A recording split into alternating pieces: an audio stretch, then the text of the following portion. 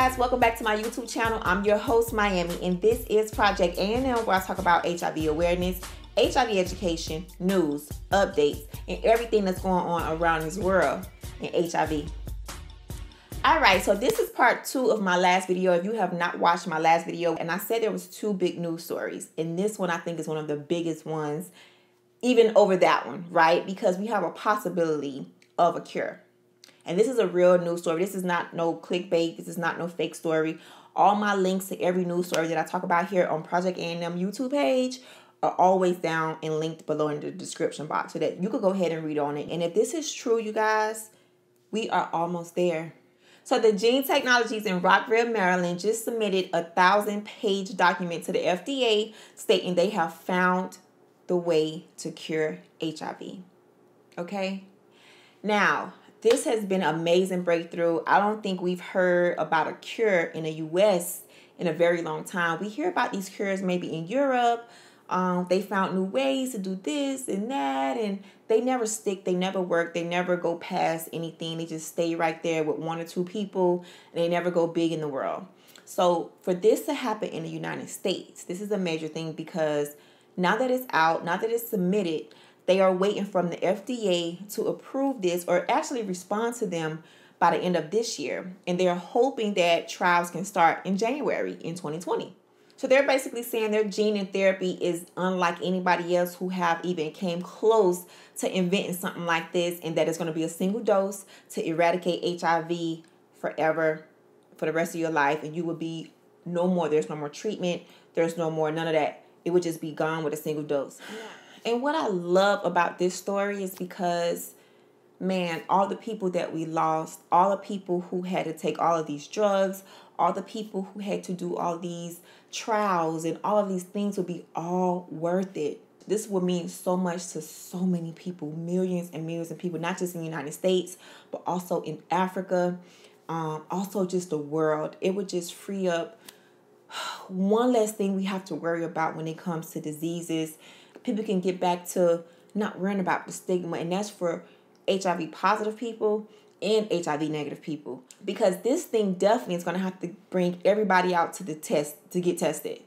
Everybody will have to get tested. If there's a cure for HIV, everybody better go get tested just to make sure because there's nothing to be scared of no more.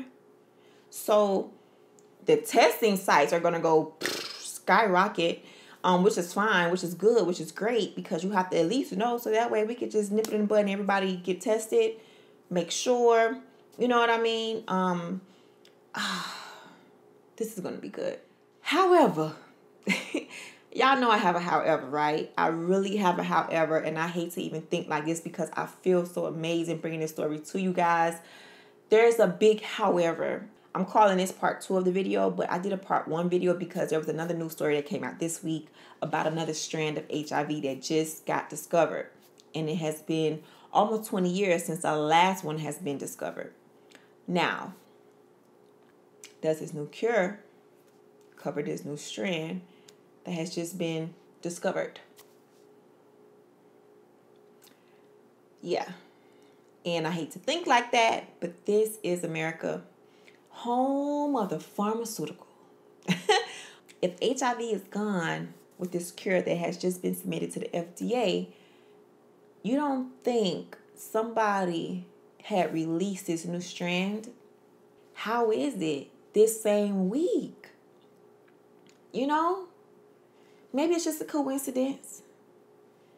But maybe, you know, but anyway, I don't want to get into that. This is about the blessings of a possible cure that has came out of the United States. I'm grateful that we have this possible cure that can go ahead and cure this whole entire world.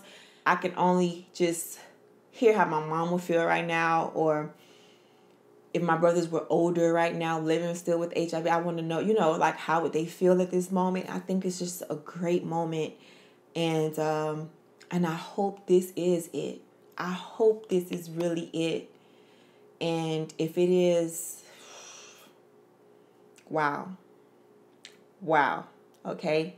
And you guys know I'm going to keep up with this story, right? So you may want to go ahead and turn on your notifications right now because every little small step they're taking I'm going to be right there reporting it to you guys right here on Project A&M and you will be the first one to know because you'll have your notifications on, right? Or or or wrong.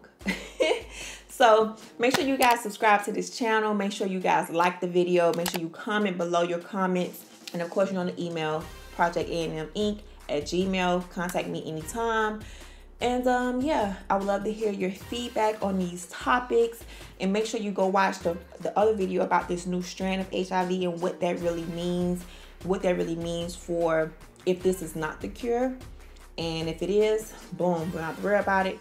But if this is not the cure or the cure for that strand, we have other things to talk about.